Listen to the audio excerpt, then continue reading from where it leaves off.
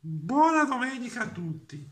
Oggi sono qua per promuovere un libro, un libro eh, che parla della storica battaglia di Parabiago avvenuta mi- nel 1339. Ecco, infatti il libro si intitola 1339, il nemico alle porte, eh, scritto da Francesco Granito. Adesso eh, vi faccio vedere eh, la copertina del libro.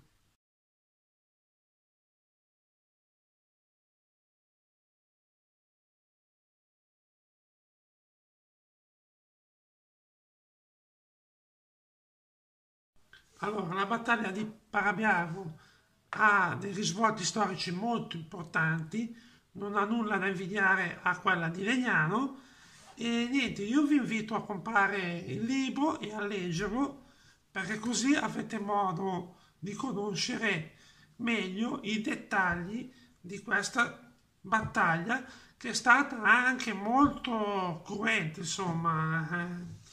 Avrete modo di scoprire tutte le cose interessanti leggendo il libro di Francesco Granito.